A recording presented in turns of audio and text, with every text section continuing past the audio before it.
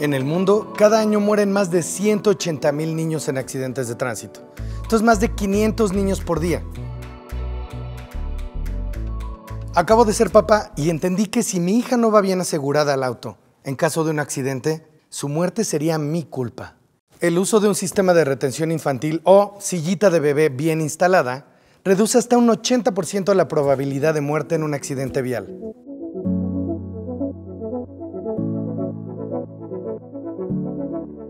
Oye, Pitichi, ¿y cuántos mexicanos usan un sistema de retención infantil?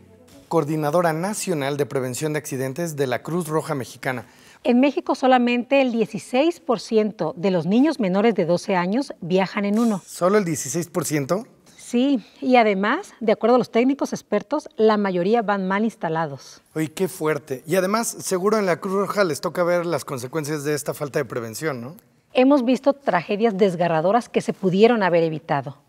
Uno de los principios fundamentales de Cruz Roja Mexicana es prevenir el sufrimiento humano. Porque además, la primera causa de muerte en niños menores de 10 años son precisamente los accidentes viales. Sí, hace falta saber esto como papá. Tenemos que entender la seguridad vehicular, qué es un sistema de retención infantil y cómo se usa de manera correcta. Por eso, hoy un grupo de expertos nos va a enseñar la fórmula para garantizar viajes seguros para nuestros hijos. En este tutorial vamos a aprender cómo escoger un auto seguro, elegir un sistema de retención infantil adecuado, instalarlo de forma correcta y colocar adecuadamente al niño. Esta es la fórmula ganadora para proteger a nuestras hijas e hijos al viajar en auto.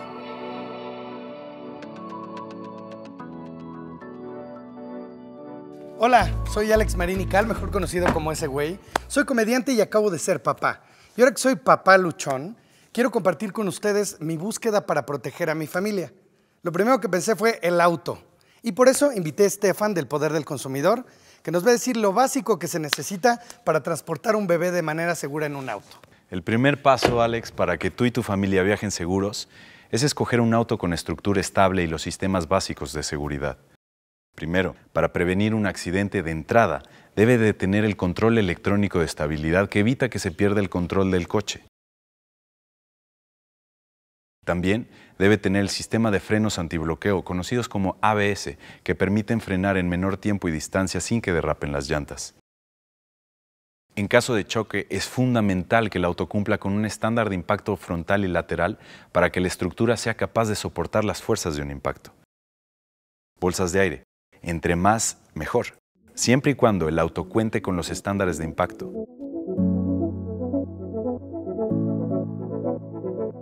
Que cuente con cinturones de tres puntos y reposacabezas ajustable en cada plaza.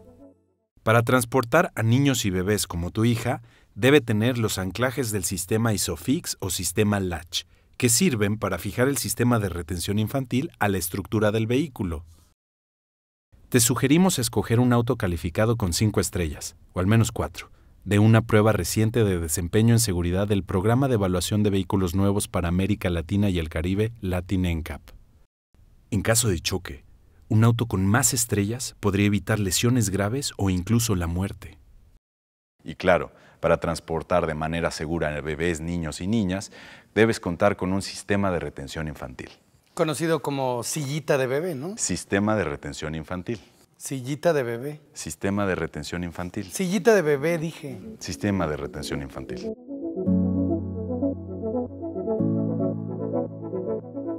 Y bueno, ahora sabemos que para que los niños viajen seguros en un auto, necesitamos instalar un sistema de retención infantil. Y para saber más, nos acompañan Gonzalo de Latin NCAP y Julie, instructora certificada por Safe Kids Worldwide. Un sistema de retención infantil es un dispositivo que asegura la contención del niño, su protección y una mejor retención en caso de accidente. Y después de saber que es indispensable contar con un sistema de retención infantil o sillita de bebé, viene la parte difícil. En medio del universo de opciones, ¿cómo escogemos la buena? Hay muchos tipos de sillas. Recuerdas que tienes que elegir un sistema de retención infantil adecuado para la etapa de viaje, es decir, para las condiciones de peso, talla y edad de tu hijo.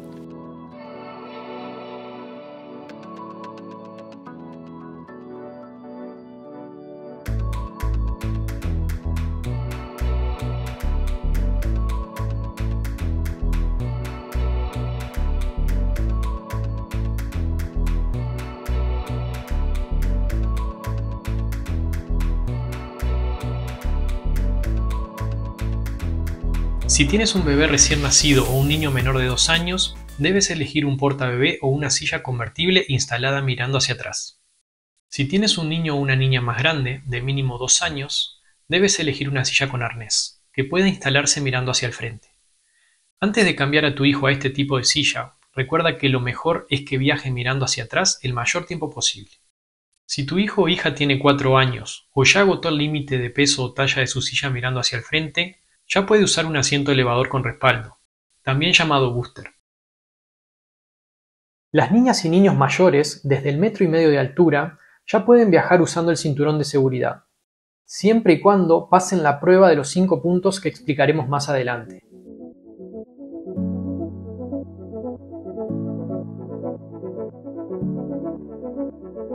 Para saber qué silla te convendría instalar, Primero, revisa que tu auto cuente con cinturones de tres puntos. Verifica si tu auto cuenta con un sistema ISOFIX o latch, ya que esto facilitará la instalación del sistema de retención infantil. Les vamos a mostrar lo que debe tener un sistema de retención infantil para que proteja adecuadamente a los menores. Que tenga manual de instalación y uso, que indique claramente todos los pasos para la correcta instalación. Verifica que la silla cumpla con alguna de estas tres regulaciones. FMVSS 213, SER 4404 o SER 129. Es importante que ofrezca información de contacto del fabricante y del proveedor. Observa detenidamente las especificaciones de la silla, que generalmente se encuentran en el reverso o en los lados.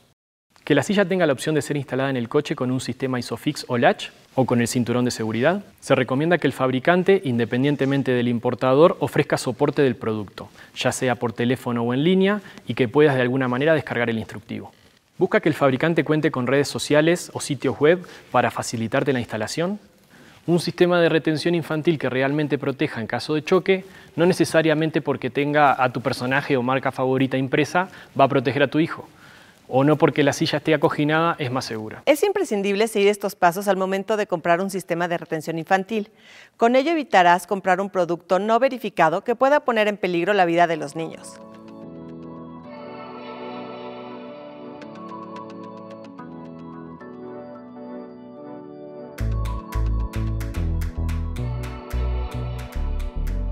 Un bebé recién nacido, y hasta los 3 años por lo menos, debe ir en una silla colocado en contramarcha, es decir, viendo hacia atrás. Puedes elegir una silla tipo portabebé o una silla convertible que se utiliza primero mirando hacia atrás y después se coloca mirando al frente. Es recomendable mantener a los niños mirando hacia atrás el mayor tiempo posible y llegar al límite de peso y talla que la silla permite. Si aún no la has comprado, elige una que te permita llevar al niño por lo menos hasta los 18 kilos mirando en este sentido. Si vas a utilizar una silla convertible desde recién nacido, te tienes que asegurar que la ranura más baja de las correas de los hombros sea lo suficientemente baja para que le salga al niño a la altura de los hombros o un poco por debajo de ellos. Si las correas salen por arriba de los hombros o están muy flojas, el niño puede salir expulsado en caso de un choque. Es muy importante tener tanto el manual de la silla como el manual del coche al momento de instalar un sistema de retención infantil, ya que es la única forma de saber que lo hacemos correctamente. Otro punto súper importante es recordar que nunca debemos de instalar una silla mirando hacia atrás frente a una bolsa de aire activa. Ahora es momento de fijar la silla en tu auto.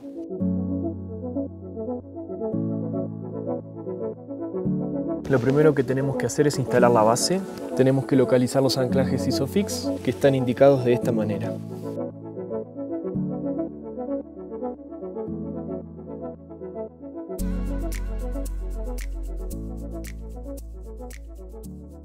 Utilizamos estas guías para ayudar en la instalación del, del anclaje ISOFIX y van colocadas de esta manera.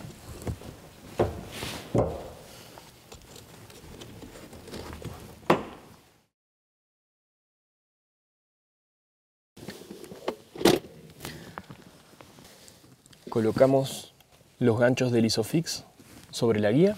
Aquí tenemos dos indicadores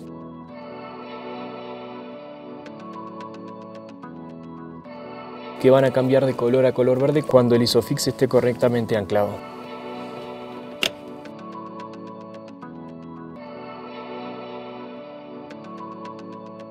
Ahí cambiaron a verde. Es importante presionar la base contra el asiento para que este dispositivo antirrotación quede sujetado contra el asiento.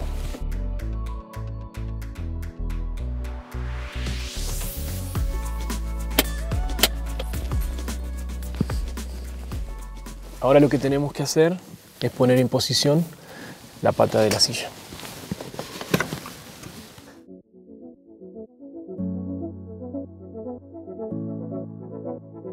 Si estuviese mal instalada, esta, esta silla en particular hace ese ruido. Tenemos que asegurarnos que este indicador está en verde de esa manera. La base ya está correctamente instalada y este indicador cambiará de color hacia verde cuando le pongamos la silla correctamente encima.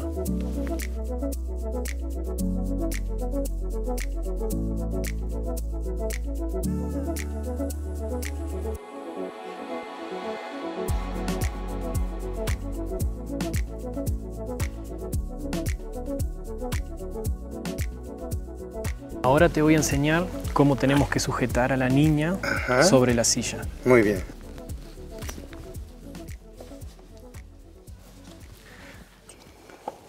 Ok. Vas Así. perfecto Ay. y vas a tener que abrocharlo. Recuerda que van los dos juntos. Listo. Ahora tenemos que asegurarnos de que esté a la altura de los hombros el, el arnés Sí. y hay que tensionar el arnés para luego hacer la prueba del pellizco. Listo. Bien. Y ahí ya está. Muy Lista bien, para ya. viajar segura. Vamos a viajar.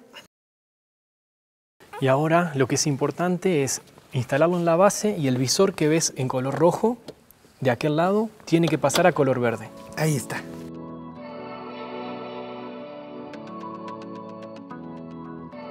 Y listo. Y esto se queda como una barra protectora. Exactamente.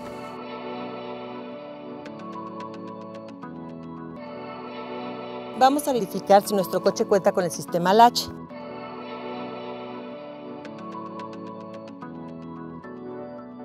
Estos botones me muestran que aquí están los anclajes y ahí tenemos otros dos.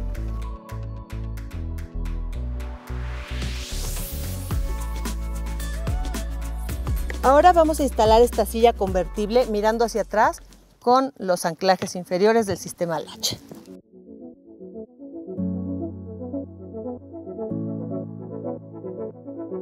Lo primero que hacemos es liberar la correa de ajuste para no dejarla atrapada con la silla.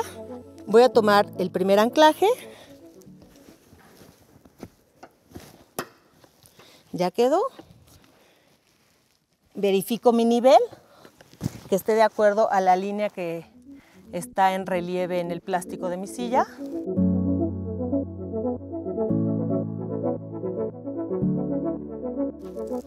Y voy a poner mi segundo anclaje.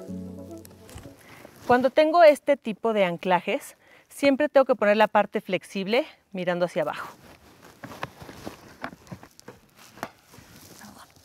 Ya, lo último que me queda es jalar la correa para deshacerme de todo el excedente. Verifico que mi silla no se mueva más de una pulgada de un lado al otro y ya quedó correctamente instalada.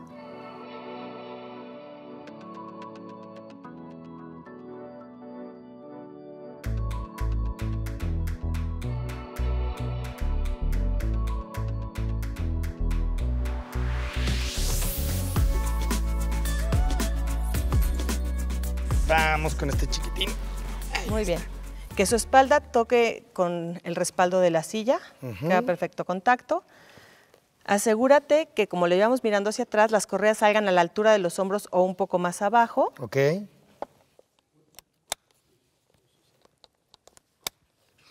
Listo. Muy bien. Que no tiene nada flojo. Ahí está. Y realiza la prueba del pellizco. La prueba del pellizco es como cuando me pellizca mi esposa. ¿Qué hago No, malo? tu mujer te pellizca así.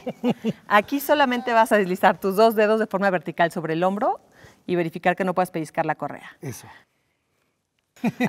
Hay que subir un poquitito más el clip que quede a la altura de las axilas y verificar que esté la distancia indicada en el manual entre la cabeza del niño y el borde de la silla, para que no vaya a golpear alguno de los elementos interiores del coche en caso de un choque. Ok. Aquí, ¿no? Así es. Puño. Ya se durmió. Ya se durmió, vámonos.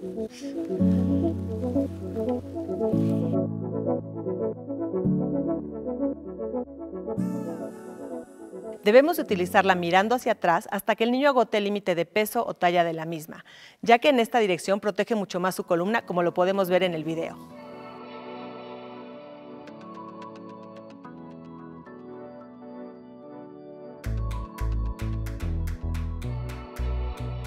Oye, Yuli, ¿cuál es el momento ideal para que ya los voltees y vayan viendo hacia adelante? Lo mejor es que lo dejes mirando hacia atrás el mayor tiempo posible. O sea, aunque mi hija tenga 15 años, viendo hacia atrás. Lo dirás de broma, pero todos iríamos más seguros si viajáramos en el coche colocados mirando hacia atrás. Ah, ok. Pero bueno, por lo menos hasta que agote los límites de peso o talla de su silla. Y eso viene en el manual. Eso viene en el manual. Ok.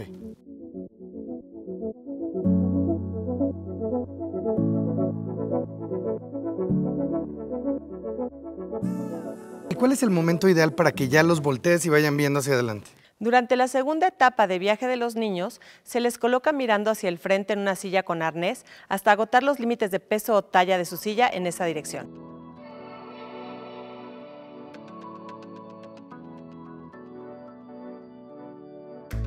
Ahora vamos a colocar esta silla mirando al frente. Primero nos fijamos que el ángulo de reclinación sea el correcto. Segundo, es verificar qué tipo de cinturón tenemos.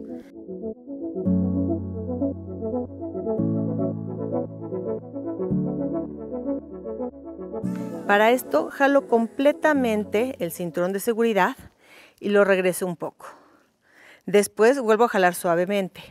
Si el cinturón sale, quiere decir que no lo puedo bloquear manualmente y que voy a necesitar la ayuda de un locking clip para poder instalar correctamente mi silla.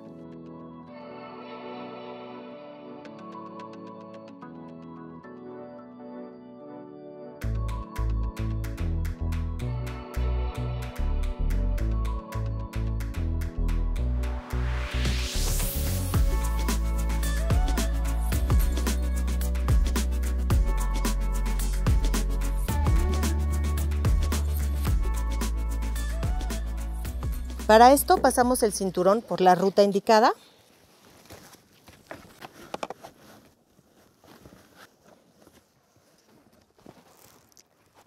Lo abrochamos y nos deshacemos de todo el sobrante para que quede bien tenso.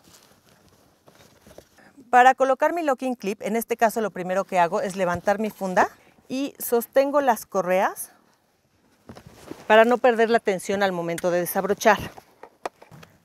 Coloco mi clip aproximadamente a 2.5 centímetros de la placa del broche,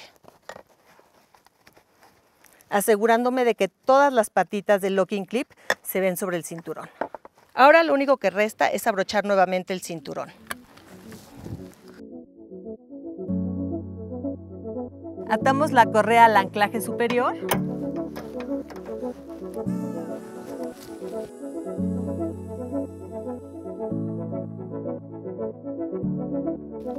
y verifico que mi silla no se mueve más de 2.5 centímetros en ninguna dirección.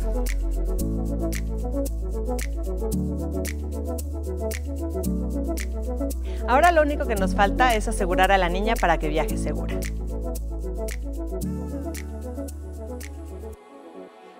Lo primero que debes de hacer es asegurarte que esté bien sentada hasta atrás contra el respaldo de la silla. Ok. Sí, siéntala hasta atrás, por favor.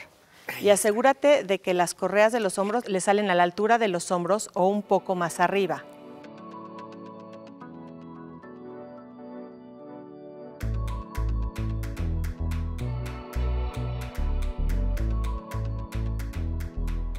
Abrochas la correa que va entre las piernas. Ahí está una. está Asegúrate otra. de quitarle lo flojo de la cadera. Muy Listo. Luego este ya lo abrocho. Muy bien, así es. Y solamente ajusta desde el frente para que no quede muy flojo. Ok. Ahorita con la prueba del pellizco sí lo puedo pellizcar. Exactamente. si Tiene que tu- ajustar más. Así es. A ver, así. Ya con eso, a ver, ya si ya no puedes pellizcar las correas, No. la niña viaja segura. Ok.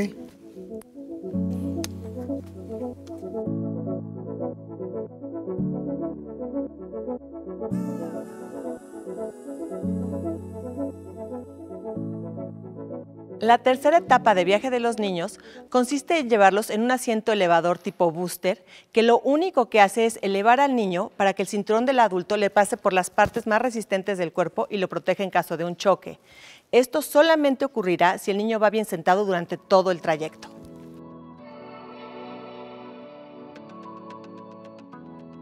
Ahora tenemos que sentar al niño en el booster.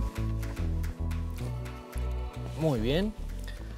Pasamos el cinturón por la guía del hombro, que está aquí arriba. Me vas a pasar esta manito por encima. Y estas dos cintas tienen que pasar por debajo del posabrazo.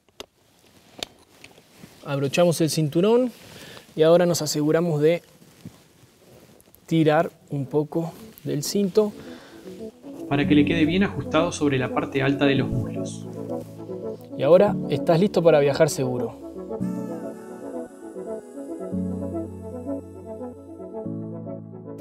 Quiero enseñar la importancia de que los niños continúen utilizando el booster. Sí, porque yo pensaría que ya está grande y ya puede ir como un adulto. Y lo parece, pero ahora te voy a enseñar cuáles son los problemas. A ver, ahí está. Ahí está. Puedes ver cómo le queda sobre el cuello el cinturón. Es como...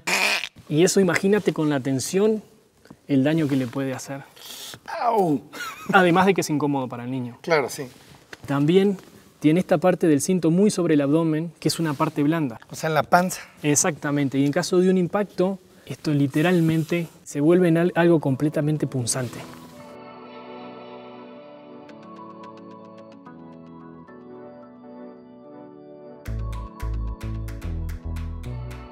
La cuarta etapa de viaje de los niños llega cuando están listos para viajar solamente con el cinturón del coche. En la mayoría de los casos, esto no sucede hasta los 10 o 12 años de edad. Para saberlo, debemos de probar al niño en el coche y tiene que pasar la prueba de los cinco puntos.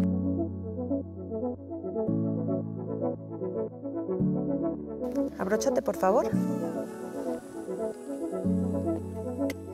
Esto consiste en que estando sentados rectos en el asiento con la espalda totalmente recargada, sus rodillas doblan naturalmente en el borde del asiento, sus pies planos tocan el suelo, eh, la parte alta del cinturón les cruza entre el cuello y el hombro sobre la clavícula y sobre el esternón, y la parte baja la cruza sobre la cadera.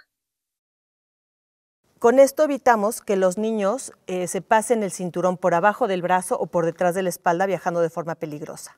Aunque en este coche ya no necesitas un booster para viajar segura, puede ser que en un coche distinto todavía lo necesites.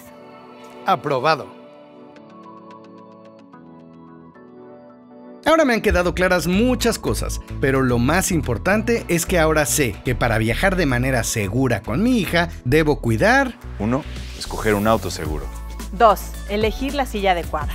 3. Instalar correctamente el sistema de retención infantil. 4. Colocar apropiadamente al niño en su silla.